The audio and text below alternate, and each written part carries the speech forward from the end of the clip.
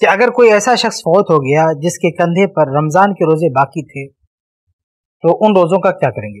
तो देखिए, सबसे पहले आपके सामने ये बात वाजह होनी चाहिए कि अगर कोई फिदिया देने वाला शख्स था, यानी रमज़ान में उस शख्स ने रोज़े छोड़े हैं, जिसने फिदिया भी दे दिया है, यानी आगे कज़ा करने की ज़रूरत नहीं है, रमज़ान के रोज़े छोड़े और फिदिया भी दे दिया तो उसका तो कोई मसला ही नहीं है।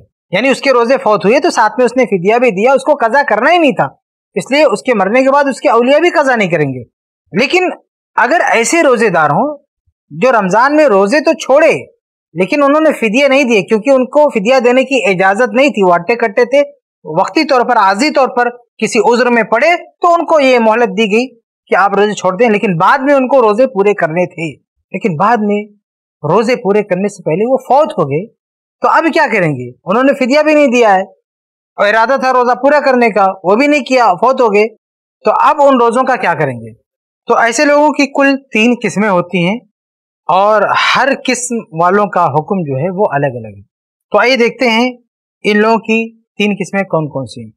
तो सबसे पहली किस्म जो इन लोगों की हो सकती है वो ये कि ऐसे लोग हैं जो रमज़ान में रोजा नहीं रह सके और इरादा था कि रमज़ान गुजर जाएगा तो बाद में कजा करेंगे। लेकिन रमज़ान गुजरते गुजरते उनका इंतकाल हो गया। यानी रमज़ान ही में इंतकाल हो गया, या ये कि रमज़ान जैसे ख़त्म हुआ, ईद के दिन इंतकाल हो गया। यानी इनको मौका ही नहीं मिला आगे रोज़ा रखने का। तो अगर इस तरह के लोग हैं कि रमज़ान में जिनके रोज़े छूटे, फिदिये भी नहीं दिए, और उनका प्लान था कि आगे हम रोज़ा रखेंगे, लेकिन वो वक्त नहीं आया। अगला वक्त नहीं मिला रोज़ा रखने का। तो इन लोगों के जो अलिया हैं, वारसीन हैं, रिश्तेदार हैं, क्या वो इनका रोज़ा रखेंगे? तो इस बारे में सही बात यह है कि इनकी तरफ़ से रोज़ा रखने की ज़रूरत नहीं है। क्यों? इसलिए कि इन पर वो चीज़ वाजिब ही नहीं हुई। इन्होंने रमज़ान में रोज़े छोड़ दिए और इनका प्लान ये था कि आगे चलकर हम इसको कज़ा करेंगे। तो जब अगला वक्त आता तो कज़ा वाजिब होती। अभी इन्होंने रमज़ान में रोज़े छोड़े। शरीयत ने इनको ये मोहलत दी ये रुख्सत दी कि तुम रोज़े छोड़ दो। अब रमज़ान का वक्त जैसे गुजरता तो इन पर कजा वाजिब होती। लेकिन इससे पहले कि इन पर कजा वाजिब होती, ये इस दुनिया से चले गए तो जो चीज़ इन पर वाजिब ही नहीं हुई, उसे किसी को अदा करने की ज़रूरत नहीं है। तो पहली किस्म उन लोगों की जो रमज़ान में रोज़े छोड़े और रमज़ान ही में फौत हो गए, या रमज़ान खत्म होती ही फौत हो गई। तो उनके जो रोज़े छूटे हैं, उनकी कजा करने की ज़रूरत नहीं रिश्तेदारों को। क्यों? क्योंकि उन पर कजा वाजिब ही नहीं हुई। तो जो चीज़ वाजिब ही नहीं, उसे अदा करने की ज़रूरत नहीं है। इसलिए इनकी तरफ़ से न रोज़े रखे जाएँगे और न ही कोई फिदिया दिया जाएगा। आगे बढ़ते हैं दूसरी किस्म। दूसरी किस्म उन लोगों की है जिन्होंने उज्र की बिना पर रमज़ान के रोज़े छोड़ दिए। उसके बाद रमज़ान गुजर गया। रमज़ान के बाद इनका उज्र भी खत्म हो गया। मसल रमज़ान में बीमार थे तो रमज़ान के बाद बीमारी खत्म हो गई। बीमारी खत्म हो गई, इनको अच्छा खासा मौका मिला अपना रोजा पूरा करने की। लेकिन इन्होंने सुस्ती और काहली की। मौका मिला इनको रोजा पूरा करने का, लेकिन पूरा नहीं किया, कजा को डिले किया। मनसूख नहीं किया, कजा के इरादे को डिले किया। मनसूख नहीं किया, मुलतवी किया। मतलब ये इरादा नहीं बनाया कि हमको कजा करना ही नहीं। प्लान था कि कजा करना है, लेकिन उसको टाल मटोल करते रहे कल कल थोड़ा बाद में करेंगे। ऐसा करते रहो, ऐसा करते करते इस दुनिया से चल दिए। तो ऐसे लोगों के जिम्मा जो रोज़े हैं, रमज़ान के रोज़े, उन रोजों की कजा इनके ज़िंदा रिश्तेदार करेंगे कि नहीं? इसके बारे में उलमा का दो कौल है। पहला कौल है कि कजा नहीं करेगा कोई इला एक ही नज़र के रोज़े हैं।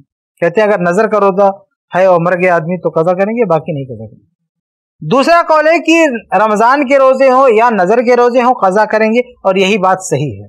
इसलिए कि जो हदीस है सही बुखारी की उसमें नज़र वगैरह की बात नहीं है। हदीस क्या है? मम्मा तवाली हिस्सियाम जो मर गया, उस पर रोज़े हैं। सामान हो वली हो उसका वली वो रोजा रखेगा। ये फ़र्ज़ रोज़े की बात हो रही है, चाहे रमज़ान का हो, चाहे नज़र का हो, कोई भी हो, जो है, रोजा रखेंगे हो गया बाद लोग कहते हैं कि नहीं, ये जो बुखारी की हदीस है, इससे मुराद नज़र ही का रोजा है। क्योंकि एक दूसरी हदीस में सराहत है कि अल्लाह के नबी सल्लल्लाहु अलैहि वसल्लम के सामने ये मामला पेश हुआ तो वो नज़र का रोजा था, जिसमें अल्लाह के वसल्लम ने अलिया को कहा था कि तुम रोज़े रखो। तो कहते हैं कि उस हदीस को देखते हुए इसको भी नज़र पे महमूल करेंगे। लेकिन अगर हम थोड़ी देर के लिए मान लें कि वो हदीस नज़र से मुतलिक है, उसी तरह ये हदीस भी नज़र से मुतलिक है। तो भी रमज़ान का जो रोजा है, वो नज़र के रोज़े की तरह है। इसलिए रमज़ान के रोज़े के मामले को नज़र के रोज़े पर कयास करेंगे। क्योंकि नज़र का रोजा भी वाजिब होता पूरा करना होता ऐसे रमज़ान का रोजा भी वाजिब होता है।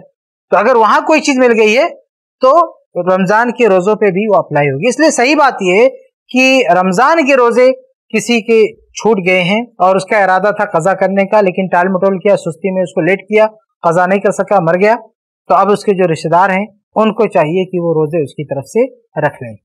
तो ये दूसरी किस्म है उन लोगों की जिनके रोज़े रमज़ान में उसे की बना पर छूट गए, बाद में मौका मिला, रोजा नहीं रख सके, फौत हो गए।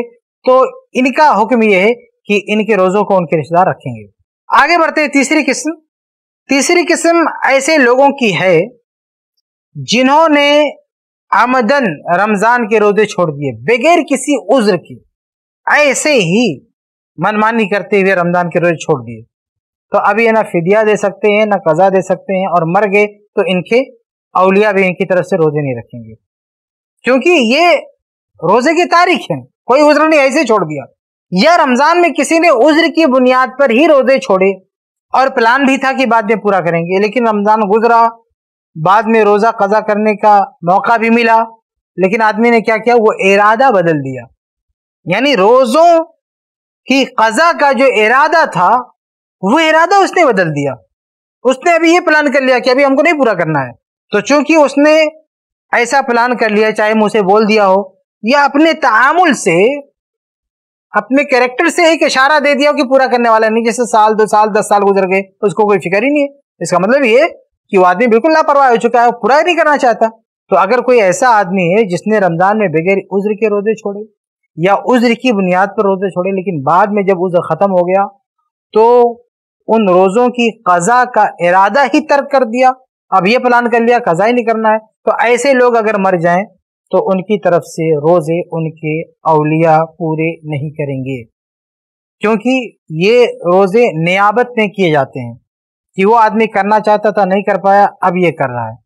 लेकिन यहाँ मामला क्या है तीसरी किस्म में, कि जो पहला शख्स है, जिस पर रोज़े फ़र्ज़ थे, वो खुद ही नहीं चाहता। जब वो खुद ही नहीं चाहता है तो दूसरा आदमी उसकी नियाबत कैसे कर सकता है?